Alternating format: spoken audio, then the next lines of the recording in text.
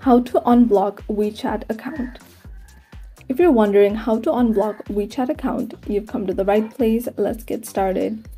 So the first thing you want to do is go ahead and open WeChat.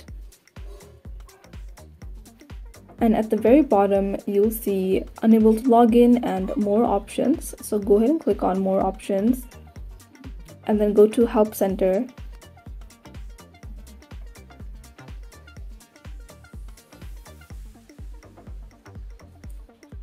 So at the search bar, go ahead and click on blocked.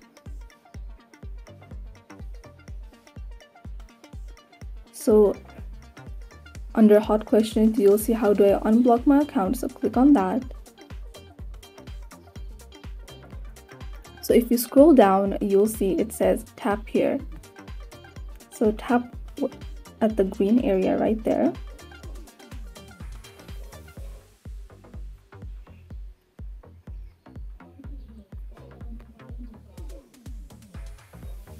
So if none of the reasons that are given here apply as to why your WeChat account is blocked, go ahead and tap here where it says tap here.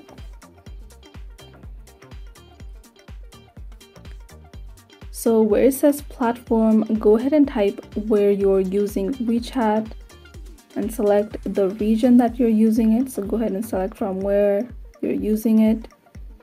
Go ahead and select the categories if you're unable to log in, broken feature, what it is, and why you're unable to do that. So